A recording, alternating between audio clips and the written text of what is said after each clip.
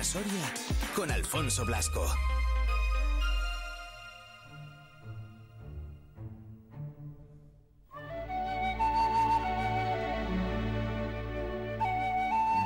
Y es que los miércoles a esta hora, pues lo que hacemos es subirnos a la atalaya de Alfredo Vallejo. ¿Qué tal, Alfredo? Muy buenas. Hola, muy buenas, nos de Dios, estimado Alfonso. ¿Cómo estás? Pues eh, eh, estoy como cotidianamente corresponde a un hombre que no es un desgraciado. ¿Qué tal tus abejas? Mis abejas, felices. Sí, Sí, me alegro. Alfonso. Siempre te, siempre te pregunto por ellas. Eres un escándalo, Alfonso. ¿Por? Eres una mezcla de media docena de cosas. Espero que sean buenas. Por lo menos la mitad de la media docena. Hombre, la mitad más uno, desde luego. No sé si es Ah, vale, bien, bien. Eso es bueno. Pues gracias por el piropo, Alfredo. que mm, sorpréndeme, porque es que, lo, lo que ¿sabes qué es lo que me gusta de esto? Que Alfredo llega, eh, se sienta, Alfredo, ¿qué tal estás? Bien, tal, ¿tú qué tal? Pues bien, pues bien, pues aquí, pues nada, pues ahora hemos estado comentando ahí fuera de micro, pues las obras para acá, las obras para allá, que esto que cada día está un poco diferente, pues sí. tal. Y luego Alfredo se sienta y yo digo, yo no sé ni, qué- ni, de, ni de qué vamos a hablar. Pero a mí eso me gusta mucho, Alfredo. Bueno, hay una cosa, qué sé yo, la improvisación es uno de los ejercicios más interesantes de lo humano, ¿eh? Sí. No lo dudes. Entonces, bueno, no, en fin, su- siempre suelo llevar, suelo traer reflexionado el tema que vamos a Sí, tratar. Lo, lo sé, lo sé. Eh, Luego otra cosa es que yo te incordie. bueno, bien, tú te llevas tu marcha y además das así, animas la actividad y eres un especial buen director. Oh, pues gracias, hombre. Al menos así lo siento yo, me ayudas cantidad. Gracias, me alegro. Así Y- que nos lo pasamos bien. Eh, eso te iba a decir, y además me ayudas a que nos lo pasemos bien. Sí. Es decir, es decir, que tienes un perfil, Y luego somos buenos amigos, que también influye. claro, pues a lo mejor influye lo que más. También es verdad. Porque cuando se está a gusto en un sitio, esto, las cosas fluyen Saben mejor. de forma más agradable, más espontánea, más, más auténticas. No, no lo dudes, ¿eh? En un ambiente torcido, Eh, tú coincido todo contigo. está torcido. Totalmente de acuerdo contigo, ya te lo digo yo. Bueno, hombre. Bueno, pues cuéntame. Bueno, pues vamos a ver, pues que he venido con una duda. Allá, a ver si te, ¿y te la puedo resolver yo. O... Pues no lo sé, tú me, tú me la planteaste, porque tú eres de esos que, en fin, que algunos viejos decían, mira, este es como, tira la piedra y esconde la mano. ¿No has oído nunca hablar de eso? sí, claro. Hoy Muchas, sí. muchas veces. Pues eh, esto, no sé si lo, me lo podrá resolver, A ver. pero desde luego tú lo planteaste de alguna manera la vez anterior. El día anterior, esto que estuvimos, de alguna Sí. forma me programaste para hacer hoy lo que, me- lo que no vamos a hacer. Vale. Porque lo he tenido que pensar y digo, pero ¿cómo? Pues, hay que hacer otra cosa. Tú me programaste de alguna forma diciendo, me preguntaste, ¿qué es lo que has visto este verano Sí. eh, desde la atalaya? Y yo pensaba que hoy íbamos a tratar lo que había visto yo desde la atalaya, porque me, lo, me liaste. Un poco. Pues mira por dónde. No vamos a hacer eso. Vale. Vamos a hacer algo que para mí es mucho más bonito, porque lo que he visto yo de la atalaya este verano, eh, bueno, bonito depende de muchas cosas, pero muy bonito, muy bonito no he, no he visto casi nada. Vaya.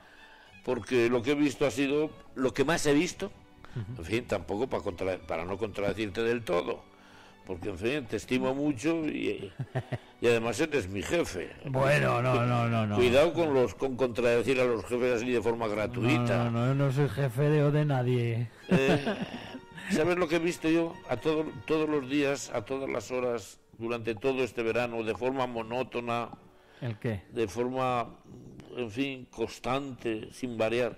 He visto miedo. Uf, Miedo en el mundo, uf. miedo en los corazones de los hombres, de todos los hombres. He visto miedo y bueno, y unas cuantas cosas más, pero fundamentalmente todas amasadas de miedo. Uf. Y chico, tampoco es cuestión de empezar ya la- el, el año hablando de un tema tan, bueno, tan tema. Es un, un tema mucho tema. Ya. Y entonces, pues voy a, vamos a hacer otra cosa, si te parece. Vale. Vamos a hablar de septiembre. De septiembre. Ah, septiembre me dijiste el año pasado que era un mes que te gustaba mucho. Es Que- el que- que más me gusta. Exacto, es verdad, me acuerdo, me acuerdo que lo dijiste. Septiembre, y además a mucha gente, a muchísima gente, Septiembre, hasta la propia canción lo dice, cuando llegue septiembre para volver a verte. Habla de amor. Septiembre es un mes tremendamente interesante, porque además septiembre, tú sabías, Alfonso, que septiembre es una puñetera mentira. Y lo dijiste también, pero no me acuerdo el por qué, es verdad.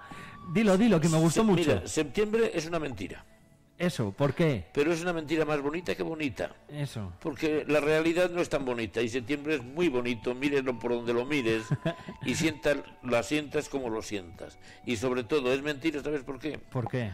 Porque septiembre tendría que llamarse de otra manera. Tendría que llamarse noviembre. Explícalo, que la explicación es guay. Sí, es interesante. Sí. Septiembre significa septen, siete, y hembre, eh, mes. El mes séptimo. Pues no es el mes séptimo. Efectivamente. ¿Por qué ocurre este contrasentido de- del nombre? Porque los romanos, de donde de alguna forma deriva todo nuestro, nuestro calendario, los romanos empezaban el año el marzo. Ah. Y luego, si empiezas a contar el año, el marzo, Con los idus. se- septiembre, septiembre es el mes séptimo, claro que está bien.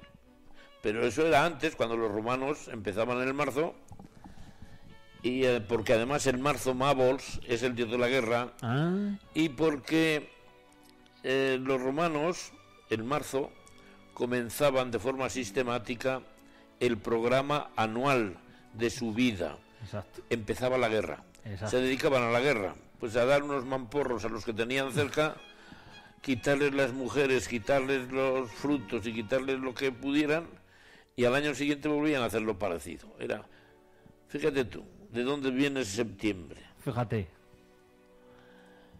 Es decir, que es, es un mes que es mentira. que es mentira, exacto. Es verdad, que es lo que es. Pero, y además, en, en cierto modo, honra a septiembre, por lo que te he contado.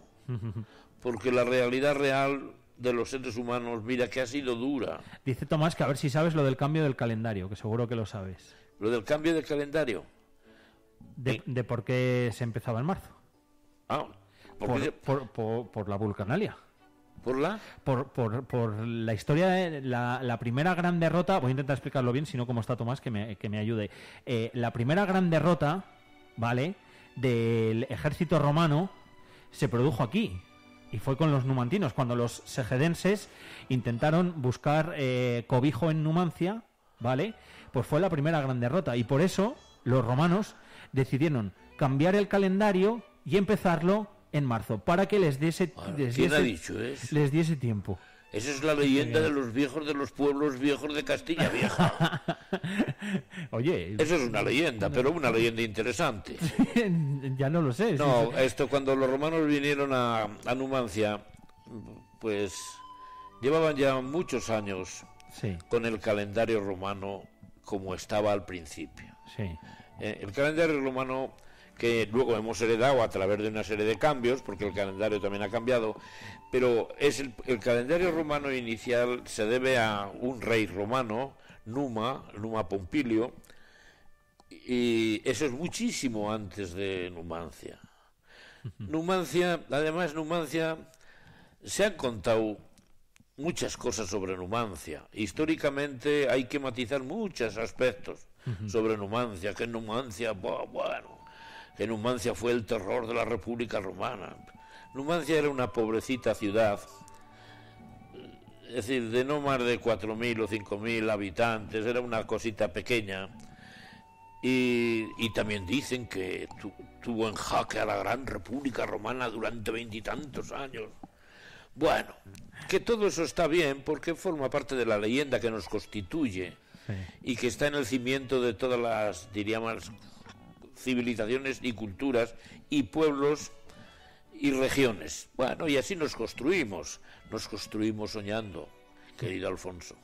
Y Esa, es lo, buena- esa frase es bonita. lo de Numancia tiene más de sueño y de deseo que de realidad histórica. ¿Sí, tú crees? Sí, Uy, te voy a contar. Te tienes que tomar un café con Tomás un día. Bueno, mira, y, y fíjate tú, voy a hablar de septiembre y hemos empezado en Numancia, pero la culpa la has tenido tú. Yo ¿eh? siempre tengo la culpa. Efectivamente, tú eh, tiras la piedra y esconde la mano. Y así acertamos siempre. Eh, da gusto. Bueno, mira, eh, muy brevemente sobre Numancia. Numancia, eh, que ha pasado a la historia como un pueblo heroico, un pueblo bueno, un pueblo Pero, pero, mártir. pero todo eso estaba escrito. Eh, Aparecen bu- ah, escritos. bueno, bueno. Esto, lo que tú me has dicho no está escrito en ningún lado.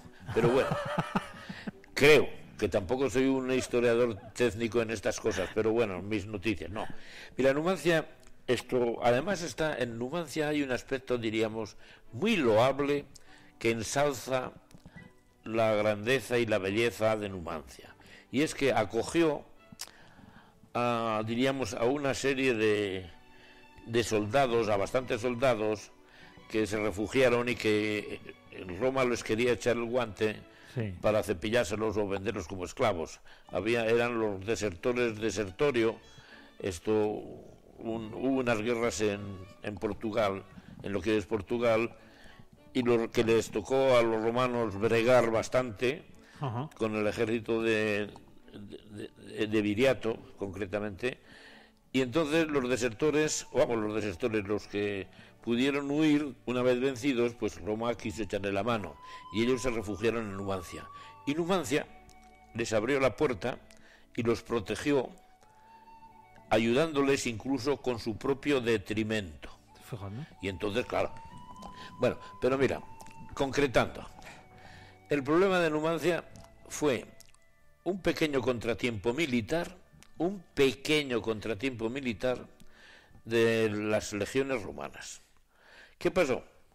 Que cuando empezaron las, diríamos, la pugna bélica entre, entre Numancia y Roma, Sí. hubo, antes de, de tomárselo en serio militarmente, tuvieron un periodo bastante largo en que hubo negociaciones, hubo acercamientos, lo que pasa siempre en la asquerosa política. Es decir, que hay unos preámbulos para ver, a ver qué pasa, y al final, si no se pone uno de acuerdo, pues eh, esto se dan de castañas. Sí. Bueno, pues aquello pasó también en Numancia. Los numantinos intentaron evitar la guerra y, que, y la única forma de intentar la guerra pues era, diríamos, conceder a los romanos una serie de peticiones y durante bastantes años fueron, ¿sabe lo que hicieron? Porque les pedían. untarles el, el morro con dinero a los, diríamos, a los generales romanos que venían por aquí a darse una vuelta, a ver si podían, ¿eh? A ver si podían pillar. a ver si pod- sí. Y llegó un momento en que, 20 años después, por lo menos, de empezar las, las hostilidades, ¿no? llegó un momento en que el Senado romano ya se hartó. Y era una, era una democracia parecida a la nuestra en lo, diríamos, en lo tempestuoso de... Sí. eh, y lo, había partidos y un partido decía que era un asqueroso al otro, que era un traidor, que igual parecido, algo más o menos parecido a lo que está pasando hoy. Fíjate cómo qué poco cambian las cosas. Y uno de los partidos dijo, esto es una vergüenza. Estamos siendo el reír del mundo. Una ciudad de 4.000 habitantes que no tiene eh, media castaña eh, nos está poniendo en ridículo. Y dice, esto se acabó. Y mandaron como general de la legión o legiones que había por aquí, por Almazán, Soria y tal, para controlar Numancia, mandaron a Escipión, el africano. Escipión, un general, un gran estratega y un hombre, diríamos, muy eficaz. Y le dijeron, cepíllate a Numancia.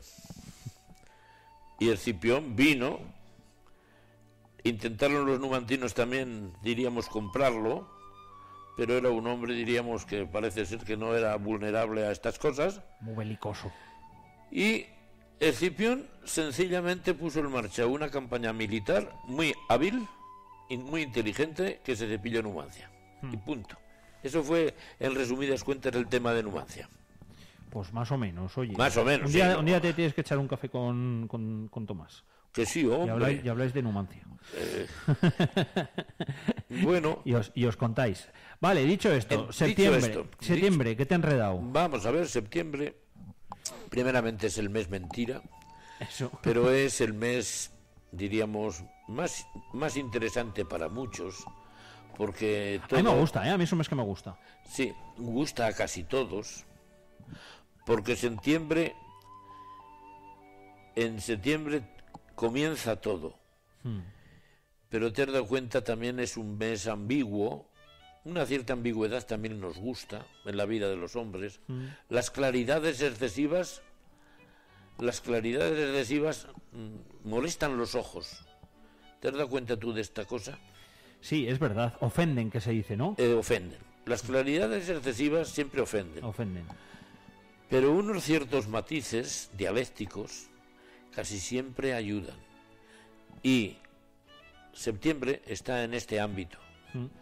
Eh, todo comienzo es una despedida, ¿te has dado cuenta? Todo comienzo es una despedida. Esa frase me gusta. Es que es, un- es, tremendamente ver- ver- verdad. Y septiembre es comienzo. Y por tanto también es despedida. Y todo comienzo es un anuncio. También. Y toda despedida es un anuncio.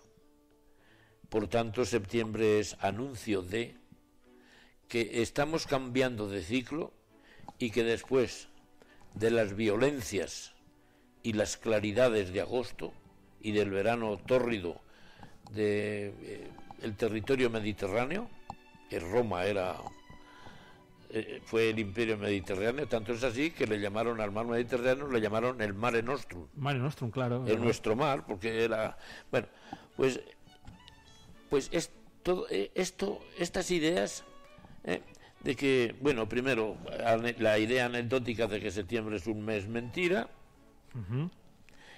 es interesante para tener una perspectiva cultural. Después, el darnos cuenta de que todo comienzo es una despedida y que todo comienzo y toda despedida es anuncio de otra cosa. También. Hemos enmarcado el perfil, diríamos, humano de septiembre. Y no, no hay que negar tampoco que cada mes tiene su encanto. Hombre, eh, cada uno tiene su aquel. Efectivamente, pero también, también, Alfonso, te habrás dado cuenta. El aceptar esto que estás aceptando con tanta, diríamos, facilidad, porque tú eres un mago de, eres un mago de la palabra y un, Bueno. y un mago de la o- intención de la o- palabra. ¿no? obligado te veas. Bueno, pues, pero cada, cada mes tiene su encanto. Pero te has dado cuenta que también tiene su desencanto.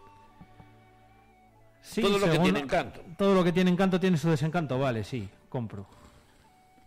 Y te has dado cuenta que además en todo, esto es una reflexión existencial, Sí. que cada, cada mes, como todo, tiene lo uno y lo otro. Según lo mires, sí, puede tenerlo. Llámale, a lo uno llámale lo que te dé la gana, porque es un indefinido, Sí. y te saldrá otro indefinido. Lo otro, ¿qué es lo otro? Depende de lo que estemos tratando. Ya. Es decir, que septiembre es un mes ambiguo. Y, y eso- De transición. eso, de transición. Es un mes de transición, es un mes anunciador, es un mes de sentarse después de una de una corrida a pelo durante muchos meses de calor, poder sentarse junto a la puerta de casa, debajo de la parra, esto, abrir, diríamos, una frasca de aguamiel y alabar a los dioses. Septiembre encaja esto. Encaja, encaja. Por todo, por el clima, por la luz, por todo. Sí, septiembre es curiosísimo. Por lo vivido, por lo que queda por vivir, por lo que queda de año. Y además es curioso también porque en septiembre ha pasado a lo largo de los de los siglos. eh, septiembre no ha perdido ese carácter de transición, de comienzo, de final, de, de llegar a. Durante todos los, los siglos que tenemos noticia y, y cultura, septiembre ha sido eso. Ahora, en esta, diríamos, en estos tiempos posmodernos en que parece que el mundo es del todo distinto a lo que fue, pues sigue siendo. Fíjate en septiembre. Septiembre se terminan las vacaciones, Sí, empiezan los colegios, sí, en las universidades. se termina el veraneo con sus angustias, entre otras cosas. Todas esas cosas. Sí, y comienza el, el trabajo, el trabajo de cada día. Septiembre, esto, en septiembre la gente vuelve a sus casas hoy después de unos de unos veranos un tanto turbulentos, aunque sean deseados y sean exaltados por la publicidad y por no sé cuántas cosas, y por fin llega uno a casa Sí. y se puede sentar en el umbral debajo de la parra y sacar una frasca de hidromiel y alabar a los dioses. Este es- hoy también puede ocurrir. Hoy de hecho ocurre. Y después del verano, pues vuelve a encontrar uno a sus amigos, se toma sus cafés. Esto las señoras, esto encuentran a las amigas de, de es decir, septiembre es interesantísimo. Sí. Además, en septiembre es el día del el equinoccio de otoño. También es otro dato bien curioso. Lo del principio, lo que he, he contado de que todo principio tal, es el principio. En, el, en este equinoccio, eh, diríamos el 23 de septiembre, es el día que por primera vez en el año la noche es un poco más larga que el día. Ya empieza a declinar A ir al revés. la luz, Claro. a ir a la luz. Esto es un- una premonición. Sí. Septiembre ha sido el mes de las premoniciones. Si no, que les preguntan a los gallegos. Esto, el- una cosa curiosa a nivel anecdótico, septiembre, eh, hemos dicho que septiembre es el, el mes Sí. del principio y del fin. Es decir, de que todo principio tal. eh, eh, ese puente de, de pasar el arroyo para estar en la otra ribera. Es curioso, ¿sabías, Alfonso, que el 1 de septiembre es el aniversario, el principio de la Segunda Guerra Mundial? Ah, no lo sabía. El 1 de septiembre las tropas de Hitler invadieron, empezaron a invadir, invadieron prácticamente esto, Polonia. Y también septiembre es el mes del final de la Segunda Guerra Mundial. El día 2 de septiembre se debió de firmar en, en Tokio el documento El del final el documento del final de la guerra con el sometimiento de la última Curioso, no eh, sabía. Japón. Pues fíjate que mes más representativo también Ya te lo en- cuento. en, en ese sentido. Septiembre es ¿eh? curiosísimo. Sí, sí. Eso incluso, bueno, y además a, a nivel anecdótico, las eh, esto, si se lee, la, en fin, en, en las estadísticas, las cosas interesantes que han pasado en septiembre, ha habido muchísimas, incluso en política. Mm. Y fíjate en septiembre, otro encanto especial de septiembre, hemos dicho que era un mes de llegada y era un mes de reflexión tranquila y era un mes de descanso después de mucha brega. Esto, septiembre, en nuestra cultura castellana, en nuestro medio castellano, Sí. era un mes, mm, diríamos que estaba muy señalado en el calendario por una costumbre ancestral que era que los pastores y los criados, pero sobre todo los pastores y los criados, esto ah, se ajustaban y cobraban la- lo que habían ganado durante todo el Durante año, todo el el- sueldo de todo el año, Sí. precisamente al, al terminar septiembre, el día de San Miguel. El día de San Miguel, que es por ahora. Sí, el día 29 de el septiembre. 29, efectivamente. San Miguel era un día, mm, un día, diríamos, antropológicamente importante en la agricultura y en la ganadería de nuestras tierras castellanas. También es otro dato interesante, curioso. Que hace a septiembre más especial. Sí, señor. Fíjate también en septiembre. En septiembre cambia el tiempo.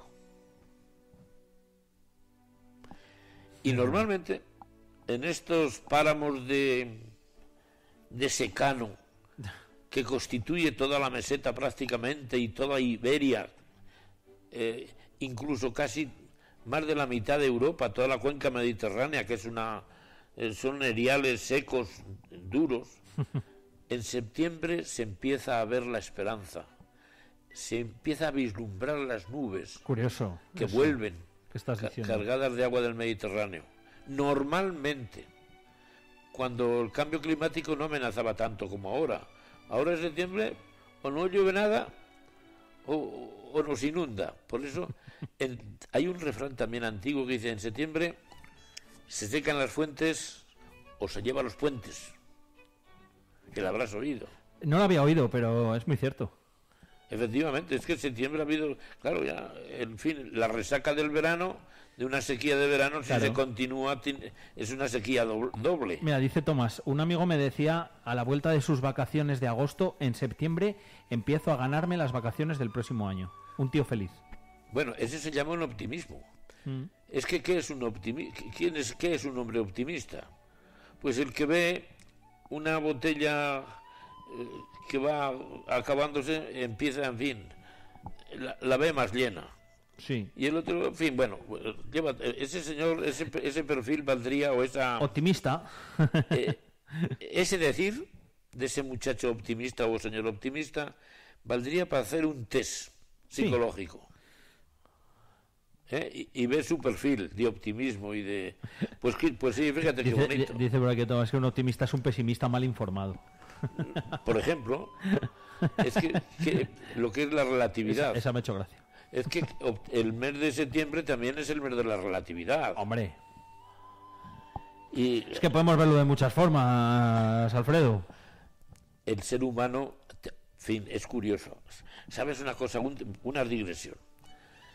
Eh, Yo durante mucho tiempo, desde que comencé, hace ya muchos años, empecé a, estu- bueno, a estudiar, bueno, pues, y sobre todo esto, bueno, empezar a ver algunos de los grandes problemas filosóficos del- de lo humano, del ser humano, Sí. esto me llamó poderosamente la atención. El problema de la libertad del hombre. Me llamó la atención. Pues porque no había manera. Había teorías dispares que no había manera de, de confirmarlas de una forma lógica y- y- o científica. Una decía, el hombre es libre. Y otros tantos decían, el hombre no es libre. Y ahí estaba el problema, y era un problema no resuelto. Pero me extraña. Eh, que te- si a ti te ha pasado también en tus estudios y en tus cosas, el hombre es libre. Y "Bah, eso que lo dices tú. El hombre no es libre. Y dices, bueno, eso lo dices tú. ¿Y sabes qué me he dado cuenta? ¿De qué? Que se han escrito muchos libros inútiles haciendo problemas y creando follón y haciendo montañas donde no hay nada más que un simple montón de arena de juego de niños. Fíjate lo que te estoy contando. Y ahora, bueno, Ah, pero tienes mucha razón en eso. este, ¿sabe? Eh, Y viene a cuento por lo siguiente. Porque al hablar de septiembre y hablar de cualquier cosa, es que lo uno y lo otro. Lo- hemos empezado también al principio de esto hablando de lo uno, que es el mes de lo uno y de lo otro. Sí. ¿Qué, qué es lo uno y lo otro? Esto es indefinido, es cualquier cosa. Y, vamos, y entonces, ¿qué pasa? No me quiero liar con afirmaciones metafísicas que no vienen al caso, pero fíjate tú, ¿sabes dónde está la raíz y la base de la libertad humana? ¿Dónde? Es sencillísimo. Con tres palabras habría podido definir. En nuestra capacidad de crear perspectivas. De eso se habla alguna vez, ¿eh? Claro, Ojo. porque ha sido una- es una de las ideas que rondan, han rondado mucho en mi, en mi vida. Eh. Ahí es. La capacidad de crear perspectivas, ojo, ¿eh? Que... Claro, es que tú, yo, cualquiera, el más ignorante, el más sabio, todos, en nuestra vida no hacemos más que crear perspectivas. Pues es un poco peligroso. Bueno, pero es- tiene mucha grandeza, No, sí, sí, sí. porque si creamos perspectivas, podemos crear una perspectiva y la Y contraria. la contraria, exacto, eso es. Y entonces estamos construyéndonos en libertad Tal cual. potencial. Tal cual. Porque la libertad siempre es potencial. Sí. No es un rábano que se roba en una tierra. ¿Te das cuenta? Sí, completamente. Bueno, pues mira, el mes de septiembre también es el, es el mes de, de las perspectivas. Las perspectivas. Porque si miras para un lado, ves los calores del- del- de un verano tórrido y, y agresivo, pero si miras para el otro lado, ya miras, diríamos, la dulzura Sí. de lo entrañable, de llegar a sitio mm, de descanso, de, en fin. Además es curioso, los, en los, los antiguos, los clásicos, los clásicos eh, explicaban mitológicamente casi todo lo complejo. ¿eh? Y una explicación mitológica es tremendamente más acertada siempre que cualquier explicación lógica. Porque el- Me gusta mucho la mitología. la explicación lógica, eh, esto con el tiempo pasa y pasa a ser mentira para ser otra explicación distinta. Pero en la explicación mitológica continúa, permanece y siempre está diciendo una verdad reinterpretada. Total. Vale, pues claro, los eh, en la mitología griega hay una, diríamos, hay un, un cuento mitológico, una historia mitológica preciosa. Sí. Hades, el dios del mundo de los muertos, el mundo del mundo, diríamos, ellos llamaban infierno, pero eso no, no tiene no tiene la connotación nuestra cristiana. No, el mundo de- subterráneo, Ajá. Hades, un buen día dándose un paseo, vio una jovencita preciosa y Hades debía de ser un poco viejo verde y aquella muchachita que jugaba en un prado esto le encantó. Vaya. Y entonces, esto intentó apoderarse de ella. Aquella, aquella niña, aquella adolescente, Sí. era Perséfone, Ah, casi nada. Era la hija de la diosa más poderosa, casi nada. casi nada. Y claro, la cogió, esto es- se la llevó y organizó un tinglao de, de padre muy señor mío, abusador. Era, un- en fin, que tamp- abusador de jovencitas. Pues vaya plan. Y claro, pero era, era muy... Es decir, cuando se la llevó al Hades, al mundo subterráneo, al mundo de la, de la, de la luz en penumbra constante, Sí. le dio un higo para que comiera Perséfone. Y Perséfone, la jovencita inocente, comió el higo. Y no sabía la diosa que el que come en el mundo de los muertos algo está condenado a no poder salir. Y entonces, con esto, con esta treta, esto Hades parece que había conseguido su triunfo. Pero hay amigo, la madre de la niña, Demeter. Esta cogió un cabreo cuando se enteró que lo llevó a juicio. Normal. Normal. Y claro, era una diosa muy, muy, muy poderosa. Y el juez, que era Zeus, el dios de los dioses, escuchó a uno y a otro y entonces le dijo a le dijo a su hermano Hades, que era hermano de, de Júpiter, le dice a su hermano Hades, oye, devuelve la niña a su madre porque ha sido injusto y te pondré una multa.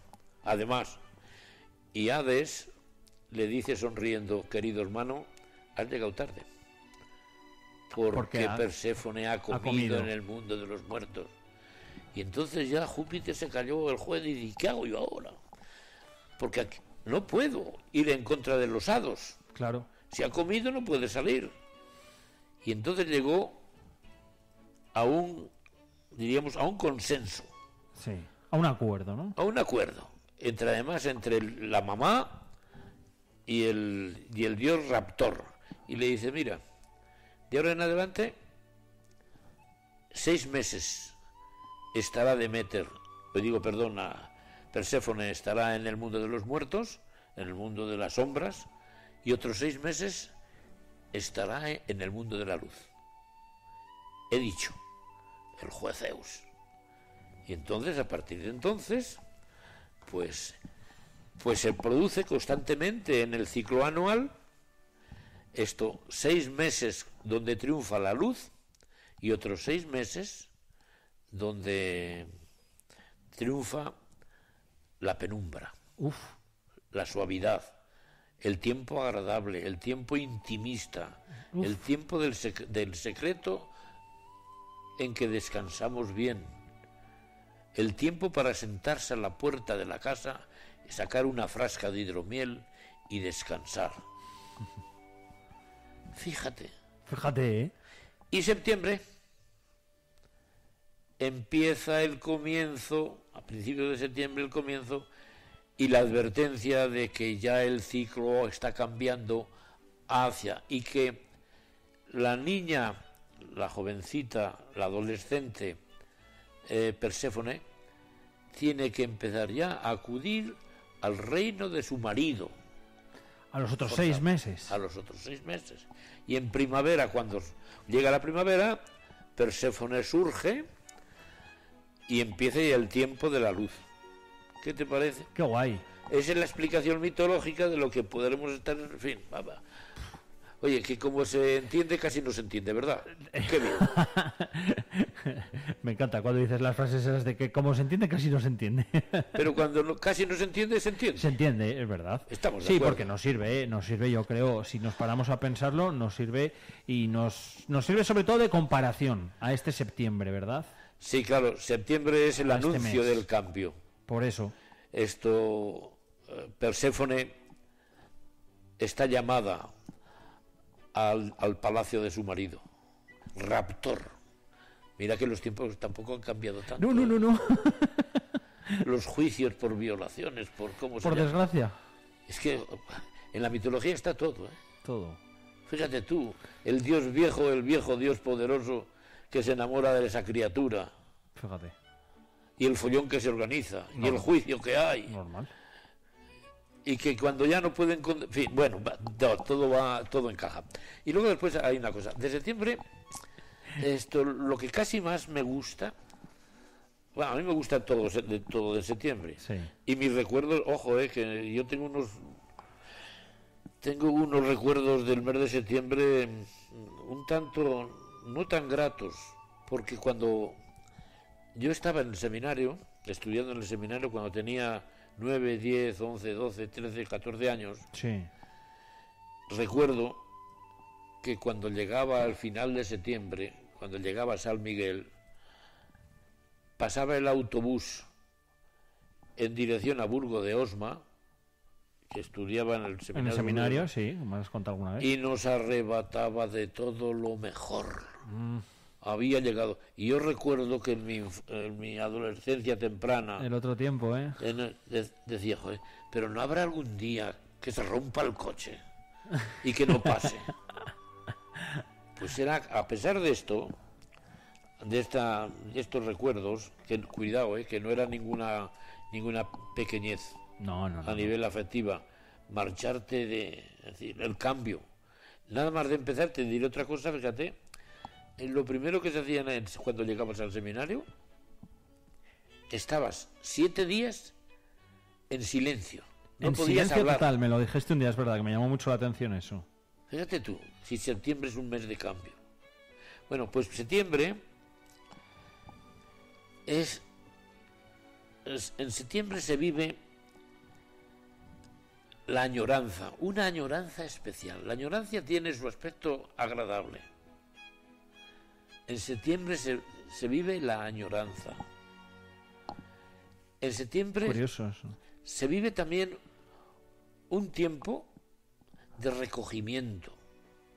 Ya las tempestades del verano se han, ama- han amainado y, y entonces el alma se tranquiliza, se pacifica y de, de hecho es cuando, en fin, se sueña de otra forma en el amor, se, se añora de otra manera el amor y a la amada o al amado y se hace una canción cuando llegue septiembre para volver a verte, Fíjate que qué interesante y, sobre todo mucha gente, casi todos los que pueden sentir lo que voy a decirte, casi todos tienen la experiencia en septiembre de se siente a Dios, pero de otra manera.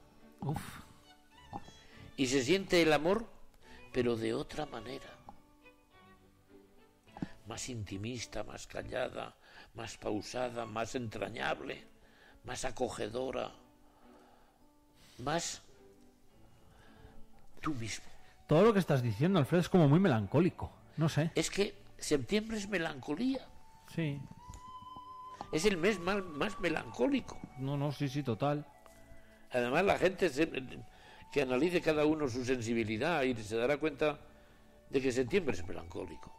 Y te das cuenta del tremendo placer que hay en la melancolía. La melancolía es una especie de guiso donde la felicidad está íntimamente mezclada, diríamos, con la advertencia. Sí. pero hay mucha felicidad en ese guiso. Septiembre es esa cocina, o, o se caracteriza por esa cocina. Y también en septiembre, Alfonso, fíjate, en septiembre, además de, de que se siente a Dios de otra manera, de que se siente el amor de otra, De otra manera, manera, sí. en septiembre se reencuentra uno a sí mismo también de otra manera. Es el reencuentro consigo mismo, Ahora voy la entendiendo. reflexión. Voy entendiendo yo porque es tu mes favorito. ¿Cómo? Que voy entendiendo porque es tu mes favorito. Bueno, es que se- se- septiembre es un mes muy especial. Tiene un perfil tremendamente interesante. Fíjate tú, esto en septiembre, claro, nuestra nuestra cultura hoy urbana ha olvidado de dónde procedemos.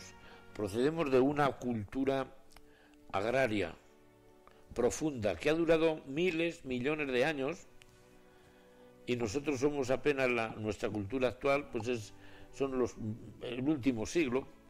Pero fíjate tú, esto en el mes de septiembre se busca la lumbre en los campos. En el mes de septiembre se arropa el pastor con la manta. Y el mes de septiembre, según la mitología cristiana, Miguel, el arcángel, triunfa sobre el mal. ¿Qué te parece? Pues muy interesante. Bueno, qué sé yo, es que son matices. No, pero son... Es, es, es, es interesante. Es muy interesante. Es una sensibilidad antes. Por eso. Que... Es que es, es, es, es, pues eso, es para pensarlo, porque muchas veces lo he dicho, vamos como en piloto automático y tal, y no nos paramos a pensar. Y fíjate, ¿qué mes? Septiembre. Ojo, Septiembre, en septiembre es casi el nada, mes ¿eh? para que empiece a ser feliz el que no lo ha sido hasta septiembre. Eh, Muy bien, eso me ha gustado. Eso me ha gustado mucho. Claro que septiembre es todo esto, es una invitación. Sí. Es una invitación para empezar a buscar la felicidad en ti mismo. Aunque no sea, aunque tú no seas un hombre especialmente hábil en construir felicidad, pero empezar a a darse cuenta que el universo es mucho más que lo que tú piensas. Mucho más. Efectivamente, que es mucho más. Mucho, mucho más. y que todos los veranos, por duros que sean, hijos de la Gran Bretaña que sean, se acaban. Y se acaban en septiembre. ¿Es así? Y que los fríos que van a venir y van a venir escarchazos todavía no han llegado. Septiembre es el mes del cálculo del para ser más felices. Es verdad. Oye, chico, pues en septiembre a pasárnoslo bien, tú. Voy a ser fan de septiembre, como tú. Si, si es que, bueno, es, bueno, si empiezas, a, si empiezas a hablar de marzo, pues a lo mejor te salen cosas parecidas. También puede ser, pero no sé. De momento septiembre me está gustando mucho. Septiembre es, es especial. Septiembre mola. Además, en septiembre, yo recuerdo, Y debemos Al- verlo desde el punto de vista desde el que lo has dicho y lo has contado. Eh, vamos a ver. Yo recuerdo uno de los placeres que yo siempre tenía en septiembre, no te lo puedes imaginar. ¿Cuál? Buah. Bueno, ya sabes que he sido profesor y que lógicamente en Nos septiembre... quedan, por cierto, dos minutos, ¿eh? O- Perfecto, eh, ha sido oportuno. Ya, ya te he visto, Y además por nos eso no te he dicho nada antes. muy encuadrado. Bueno, pues yo, claro, como profesor tenía que empezar a dar el curso, Sí. con toda la responsabilidad, etcétera, etcétera. ¿Sabes lo que hacía yo en septiembre? ¿Qué? Además recuerdo, tenía un lugar especial para hacerlo. Un pequeño, un bosquecillo sagrado, un lucus. Ah, qué guay eso. Un lucus, la palabra lucus, de donde viene Lugo, significa bosquecillo sagrado. Pues en un lucus, pegando a, a la casa de donde suelo pasar el verano, en Valdealbillo, Sí. tengo una casa muy bonita, muy, pero con lucus, esto en silencio completo, en soledad completa. Cuando llegaba los últimos días de septiembre, buscaba un libro de Exiodo. Exiodo es un autor anti- muy antiguo griego y en soledad leía el libro de Exiodo, Los trabajos y los días. Fíjate. Un libro no muy largo, Sí. fíjate, los trabajos y los, días. días. Oye, ese ritual cultu- de cultura me reconfortaba por dentro para empezar a creo. ser profesor, diríamos, de una forma consciente Me lo creo. y vislumbrar por dónde tenía que orientar mi asignatura para ayudar a unos adolescentes a que descubrieran la vida, Como yo. ¿eh? los trabajos y los días. Qué libro más interesante. Hesíodo, Hesíodo. 2500 antes de Jesucristo. Fíjate. Bueno, Oye, pues es una buena forma de acabar y casi de acabar también el mes de septiembre, porque ya cuando te vea va a ser octubre. Bueno, octubre, pues octubre es el mes siguiente de septiembre, es el hijo, Eh, no el hijo primero. No te falta razón. Bueno, sí. Vale, Alfonso, pues muchas gracias y a todos los Gracias- oyentes. gracias a ti. Y disculpad a veces, pues en fin, los rollos que os pueda soltar, pero son rollos No, utilizables por lo menos, ¿eh? Es interesante. Eh, Utilizables. Utilizables, efectivamente, es para echarles un pensado. Alfredo, gracias, amigo. La semana que viene más. Adiós, hasta luego. Inteligencia artificial. Dime cómo ahorrar automáticamente con Iberdrola. Con el plan ahorro inteligente, porque elige tus 8 horas de mayor consumo y les aplica el precio más bajo. Me encanta. Un plan que ahorra por mí. Claro, así de fácil. Contrátalo en el 924 24 24 o en iberdrola.es. Y ahora, además, llévate 100 euros. Iberdrola, por ti, por el planeta. Empresa colaboradora con el programa Universo Mujer. Te he dicho que no. Deja eso. Esto es todo el día igual. Al final te lo voy a quitar, ¿eh? Ya está bien, dámelo. Prohibir no es la solución. Los y las adolescentes siempre encontrarán la forma de acceder a la tecnología. Descubre cómo acompañarles en FAD.es. La Diputación Provincial presenta una nueva convocatoria de ayudas a la vivienda joven. Si tienes menos de 36 años, esta es tu oportunidad para abrir las puertas de tu nuevo hogar. Subvenciones del 50% de los gastos, hasta 5.000 euros por solicitud. Infórmate y solicita tu ayuda antes del 30 de septiembre. Iniciativa del Plan Soria, impulsada por la Diputación Provincial y la Junta de Castilla y León. Estés donde estés, bebas lo que bebas, Distribuciones Naval Potro está contigo. Un zumo y un café solo, por favor. ¿Me pones un Rioja y dos Riberas? Dos Heineken y una Amstel sin alcohol. Cuando puedas, dos Schweppes de naranja y una tónica. Y por supuesto, Agua Montepinos. Distribuciones Naval Potro, Polígono Industrial Las Casas, Soria. Vive Radio. Siempre alegre. Siempre positiva. ¿Y esto? La música que te hace estar de buen humor. ¿Y esto?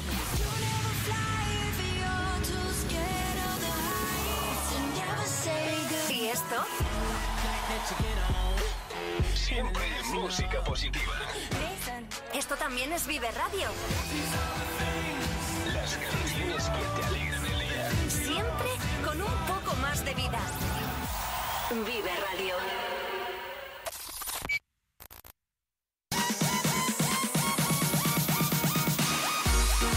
Tú quieres ponerte en contacto con Vive Radio Soria? Mándanos un WhatsApp o un audio al 680-936-898 y te escuchamos. Vive Radio también eres tú. Recuerda, 680-936-898.